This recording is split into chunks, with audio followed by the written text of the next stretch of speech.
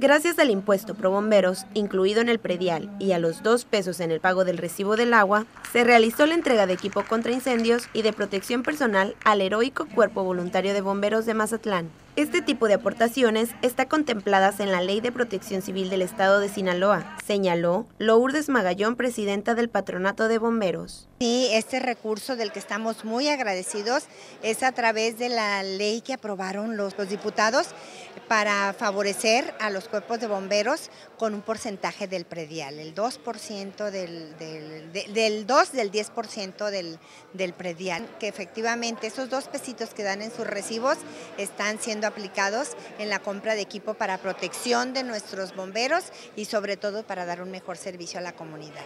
La entrega de este equipo y herramientas viene a cubrir una demanda solicitada por el Cuerpo de Rescate y Auxilio, con lo que se busca aumentar la eficacia del servicio y la atención a la población. El material entregado consta de ventiladores extractores eléctricos, tanques de repuestos para respiración autónoma, hachas, palancas, entre otros.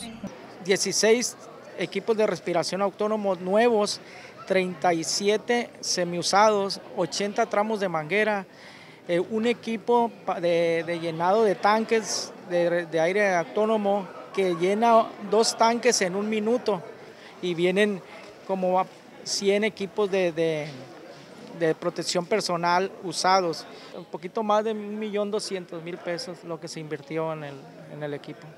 Además, el Departamento de Bomberos de Santa Mónica, California, donó trajes de protección personal y un camión de bomberos de doble cabina.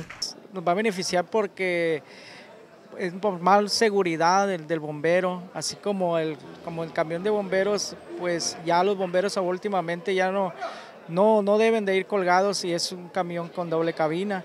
En un camión es aproximadamente 6 a 7 personas son los que caben en ese camión, pero siempre la mayoría en una emergencia van 5. Durante el evento se llevó a cabo también la presentación del nuevo uniforme del personal, que consta de camisetas blancas para distinguir a los oficiales, camisetas azul marino para cabos y playeras azul marino para aspirantes. Al finalizar, se hizo la entrega simbólica del equipo y la llave de la unidad móvil de bomberos. Con imágenes y la edición de Conrado Núñez, reportó para las noticias TVP Paola Toledo.